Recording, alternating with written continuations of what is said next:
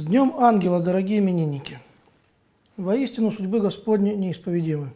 Нередко мучители становятся мучениками и исповедниками. Наоборот, жертвы становятся мучителями и терзателями своих прежних надзирателей. В Евангелии мы читаем о том, что блудницы и матери впереди идут Царствие Божие, нежели фарисеи и книжники. И вот сегодня мы расскажем такую историю, которая как раз воплощает этот евангельский переворот в жизни человеческой, когда мучители присоединились к тем, кого гнали. Речь идет о четырех мучениках – Филимоне, Аполлонии, Ариане и Феотихе.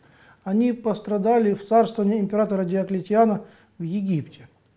Убоявшись предстоящих мучений, христианин Аполлоний решился принести жертву идолам. Однако Совесть ему это запрещала, и он упросил язычника Филимона, который был по профессии музыкант, чтобы тот, одевшись в одежду Аполлония, пришел и принес жертву идолам. Филимон согласился, оделся в одежду Аполлония, однако паче чаяния, находясь перед идолом, перед сановниками, перед жрецами, начал вслух славить имя Христа и обличать людей за идолопоклонство. Филимона казнили, а Аполлоний, увидев это, усрамился своего малодушия и также открыл о себе, что он христианин. Был замучен также и он. Начальником стражи, который заведовал этой казнью э, двух исповедников, был некий Ариан, который после казни разболелся глазами и почувствовал, что люди, которые были убиты по его приказу, святые. Ариан пришел на могилы мучеников, взял прах от их могил и, приложив к глазам, исцелился.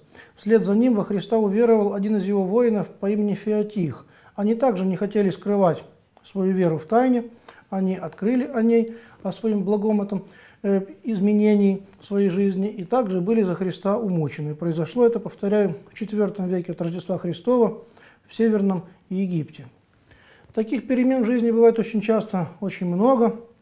Единственное, что можно их не замечать. Но мы желаем вам, дорогие именинники, чтобы в вашей жизни происходили только благие перемены, а именно, чтобы пьяницы отрезвлялись, жадные становились щедрыми, распутные усоломудривались, лентяи начинали трудиться.